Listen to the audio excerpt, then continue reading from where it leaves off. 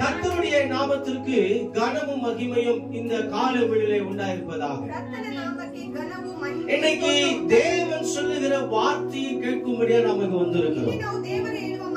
ஆண்டவர் நம்மிடத்திலே பேச விரும்புகிறார்.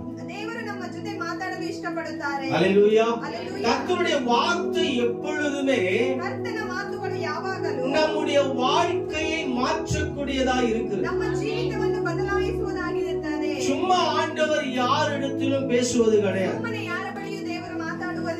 அப்படி இந்த கால வேளையில உங்களோடு பேச கத்தர் விரும்புகிறார் என்றால் உங்க வாழ்க்கையில ஏதோ ஒன்றை கத்தர் செய்ய விரும்புகிறார் என்று அர்த்தம். சரி இப்ப தேவனுடைய வார்த்தையை கேட்போம். கத்தருக்குள் பிரியமான தேவச்சனமே வேதம் சொல்லுகிறது. நீங்கள் நம்புகிறதையும் நீங்கள் எதிர்பார்க்கிறதையும் நீங்கள் விரும்புகிறதையும் வானத்தையும் பூமியும் உண்டாக்கின கத்தரிடத்திலிருந்து உங்களுக்கு வரும். ஆகையால் நீங்கள் அசைக்கப்படுவதில்லை என்று கற்றுக் இப்பொழுது கத்தர் கொடுத்த இந்த வசனம் சங்கீதம் அறுபத்தி ஐந்து அறுபத்தி இரண்டு ஐந்து ஆறு வசனங்களிலே தாவீது சொன்னது போல நீங்கள் நம்புகிற காரியம் நீங்கள் விரும்புகிற காரியம் நீங்கள் எதிர்பார்க்கிற காரியம் கத்தரிடத்திலிருந்து உங்களுக்கு நிச்சயம்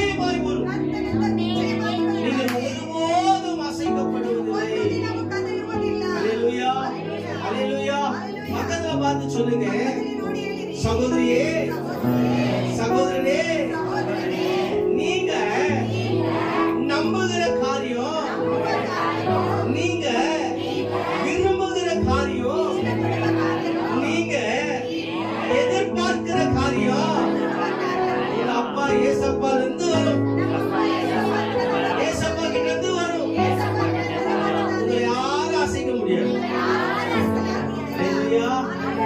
பயன்படுத்தி ஆண்டவர் மகிமைப்படுத்துவார் தேவ ஜனமே கத்துடைய வார்த்தை நல்லா கவனிங்க நீங்க நம்புகிற காரியம் எதுவோ அது நீங்க நம்புகிற தேவனிடமிருந்து உங்களுக்கு வரும் Hallelujah.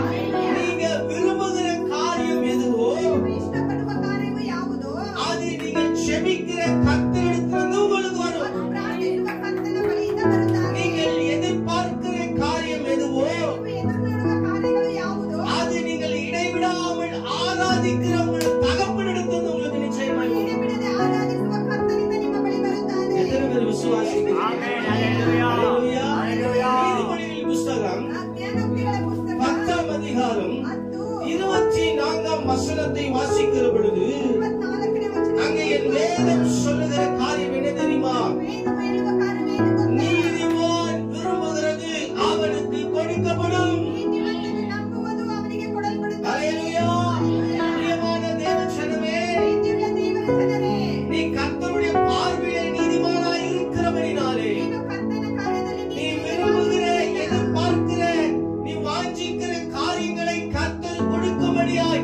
సిద్ధములు